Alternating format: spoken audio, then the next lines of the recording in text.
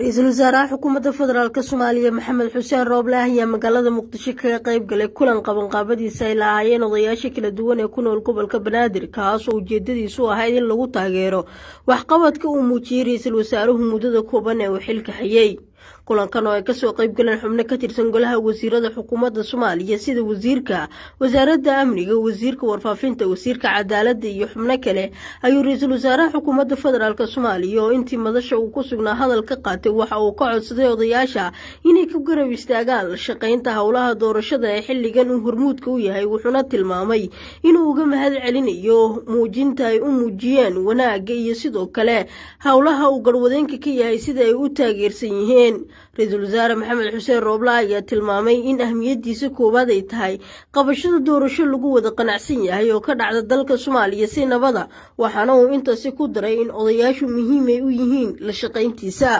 Xubno ka tirsan golaha wasiirada oo ra'iisul wasaaraha xubno ka tirsan golihiisa wasiirada oo ra'iisul wasaaruhu markii uu hadlay kadib iyaguna warfidyaanka la hadla ayaa waxa ay sheegeen in intii uu joogay ra'iisul wasaaraha xukuumadda soomaaliya maxamed xuseen rooble ay qabsoomeen waxyaabo badan oo horumar u ah soomaaliya. Iidaaros maagane wararka laanta afka soomaaliga ah ee c b a t v muqdisho